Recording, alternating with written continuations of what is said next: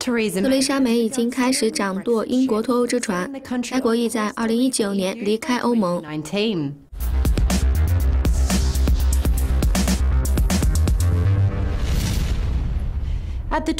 在保守党年度大会上，首相宣布，他将会在2017年第一季度开始脱欧进程。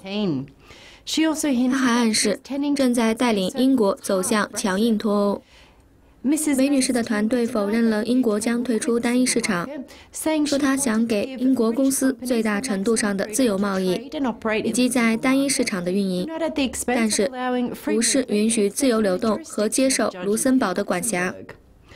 尽管这是英国第一次真正对英国脱欧做出下一步的指示，但是仍然有很多的问题没有答案。英国工业联合会总干事卡罗琳·费尔贝恩在一份声明中说道：“首相已经解决了一个大问题，按时的，但是别的方面的答案也紧急的需要加快处理进度。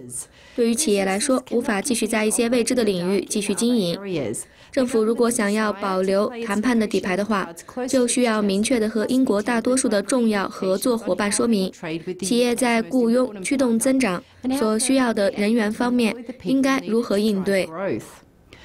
然而，并不是所有人都乐意看到首相对于英国脱欧的强硬立场。亲欧自由民主党领袖蒂姆·法伦说道：“梅刚刚确认了，我们将会强硬退欧。”此举对于英国的就业、企业和经济来说意味着灾难。英镑已经对强硬脱欧有所反应。